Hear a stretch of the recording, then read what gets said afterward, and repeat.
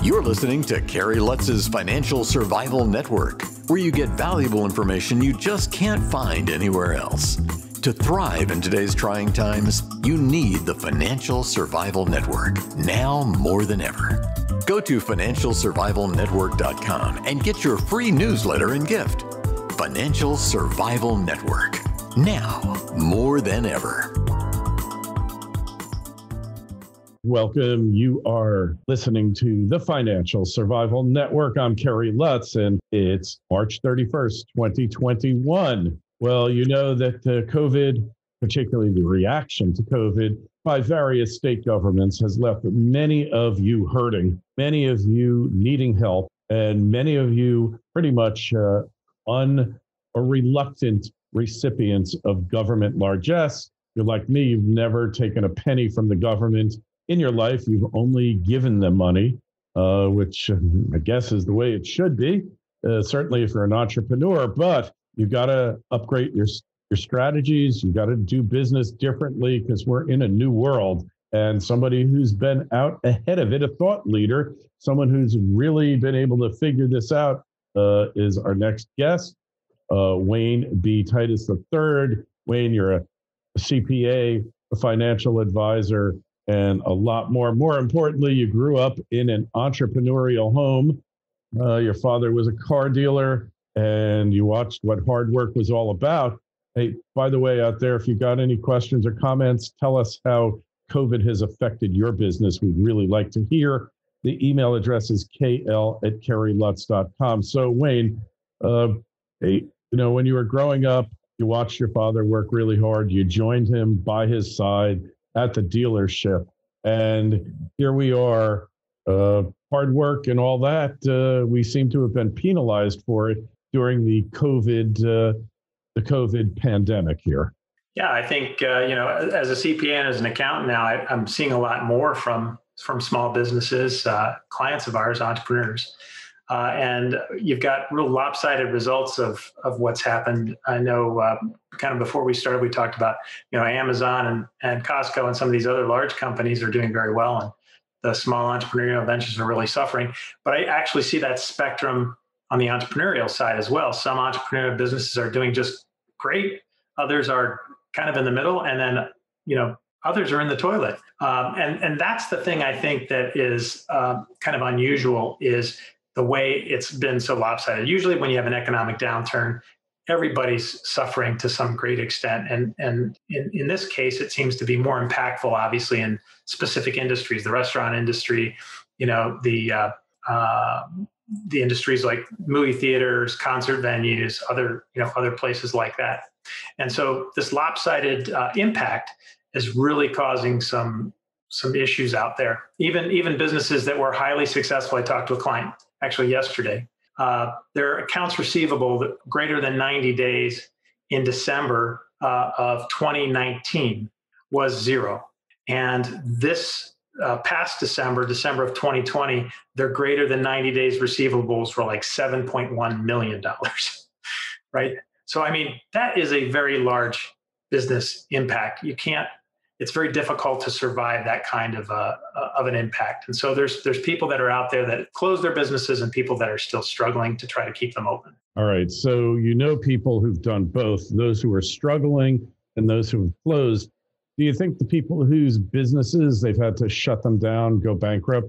Do you think uh, most of them will be starting new businesses again, or are they just going to look for jobs, or or retire early and go on Social Security? What's your take on that?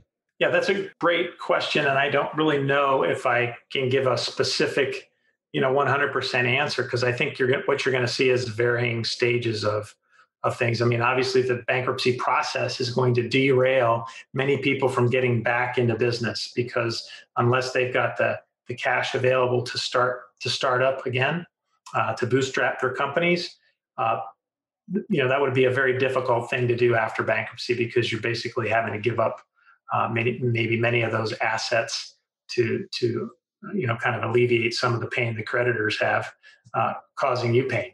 So um, I think you know you're going to see some that may be able to do that in, in a way, and uh, many others are not. And I think uh, what's going to happen, most of those places are going to close. somebody else is going to maybe, if there's a demand, is going to open up in their place and they're going to be the beneficiaries uh, when everything starts turning around of that. You know, it's it's kind of the last person standing, you know, gets all the toys or gets all the cash or however you want to put it. Um, so positioning yourself, I think, as an entrepreneur to to uh, avoid or kind of uh, react to these kinds of situations is very important. Obviously, COVID is one of those things where it would have been very difficult to to put together a business plan uh, or a business case or a continuity plan to, to, to predict this kind of uh, impact. But I do think that entrepreneurs need to be sure that they are thinking about those things as they are extending credit or receiving extension extension of credit, you know, reinvesting in their business uh, and making sure that they can survive this kind of a an up and down in the future.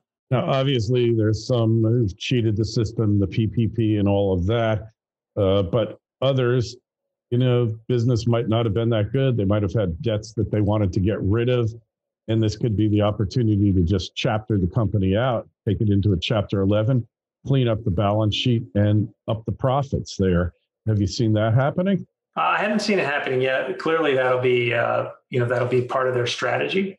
Uh, reorganization of debt is an important aspect of things. Uh, I know a, a, number of businesses that were trying to reorganize, um, you know, through some of the the programs, the Main Street lending program that was available uh, previously, that's now uh, closed down, was one of those avenues to basically restructure debt and you know position yourself moving forward. But very few businesses were actually able to take advantage of those because the banks weren't in a position to actually uh, administer or help businesses apply in that process as quickly as they needed to. So the the timing of that program um, wasn't open long enough but you know reorganization is certainly a valid strategy i'm not seeing that yet but i suspect it will definitely be one of the approaches all right so as far as these government lending programs, PPP, EIDL, and all that, what are the shortcomings of them? Why have uh, so many businesses that could have gotten them not even bothered applying for them?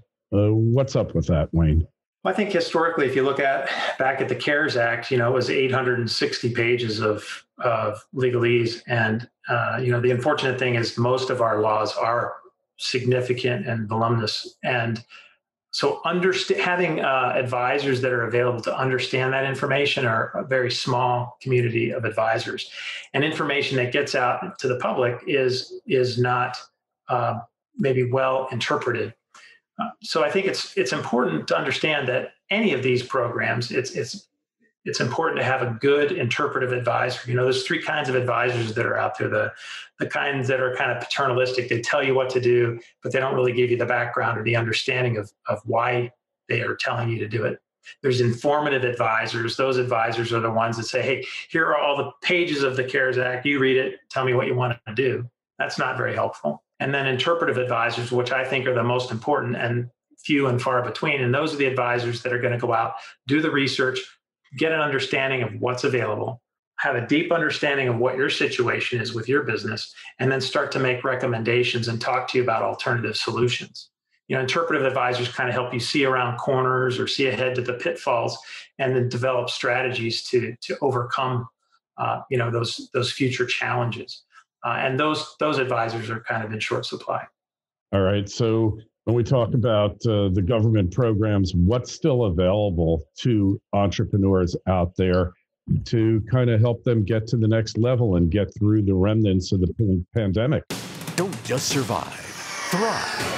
The Financial Survival Network. Silver One Resources is an exploration and development company backed by strategic investors Eric Sprott and SSR Mining. At Silver One's Candelaria Mine project in Nevada, there is already a historic resource estimated at 127 million ounces of silver, which Silver One is developing and advancing. The company's Phoenix Silver project, located within the Arizona Silver Belt, is an early stage exploration project on which native silver vein fragments have been discovered near surface surface. One grab sample assayed an astounding 14,688 ounces per ton. Yes, that's right, ounces, not grams. Silver One has tremendous exploration potential, is extremely leveraged to the price of silver, and is cashed up and poised to increase shareholder value. Silver One trades in New York under the ticker SLVRF and in Toronto under the ticker SVE. To learn more, go to silverone.com. That's silverone.com. This is the Financial Survival Network, the information you need to thrive now more than ever. Yeah, as I said, you know, this the, the impacts have been kind of uh, lopsided.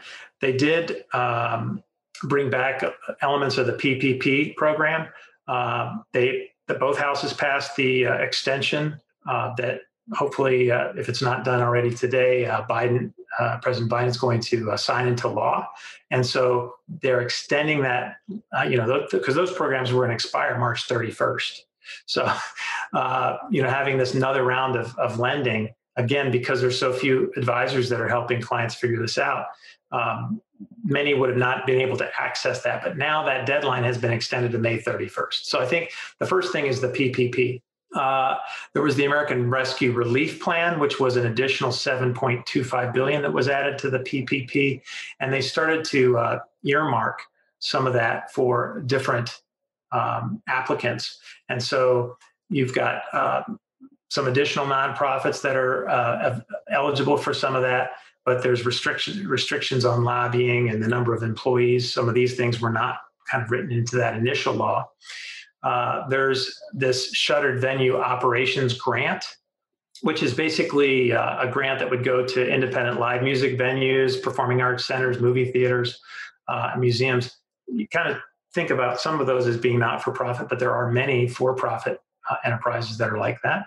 Um, that's going to be combined with the PPP. So if you get something on the SVOG grant, it's going to be deducted, uh, or the PPP will be deducted from that total grant. Uh, there's uh, the American Rescue Plan Act, which is an additional two, uh, 28.6 billion specifically for restaurants uh, and targeted for that. There is uh, RRF grants, which basically are, those are the specific one for restaurants, bars, lounges, tasting rooms, and things like that. So if you've got you know a small, you know in Michigan we've got a lot of small microbrews and uh, small distilleries that could benefit from these types of things.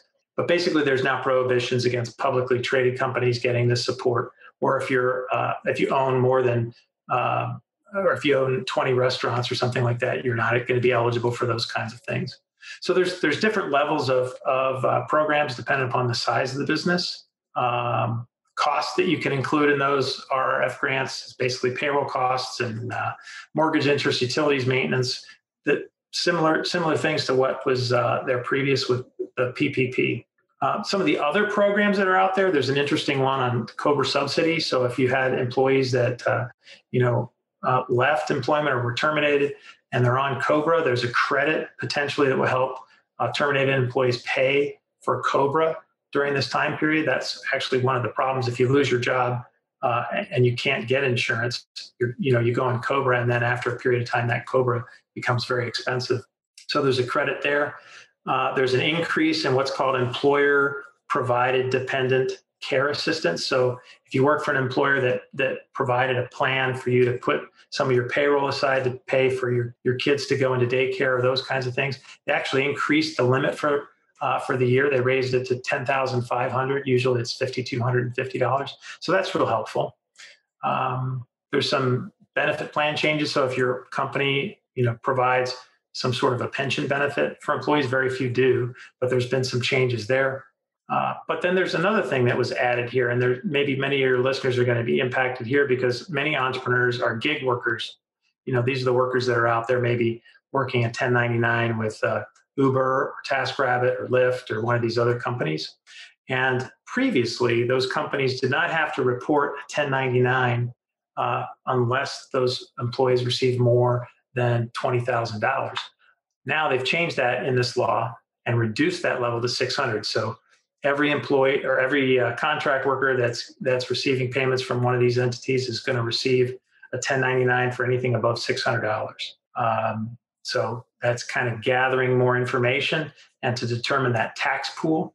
Um, so this could be a negative impact for those folks that aren't properly recording that income in their tax returns. They're going to be forced to do that because they're now uh, these companies are now required to issue these 1099s for anything above $600. Right. What about uh, uh, small business loans with companies that are kind of out of collateral there? Is there such a thing for them? Uh, there's not much there. Uh, the Main Street Lending Program is one of the bigger uh, programs for that kind of thing. Um, and so I haven't seen a lot in, in loan programs.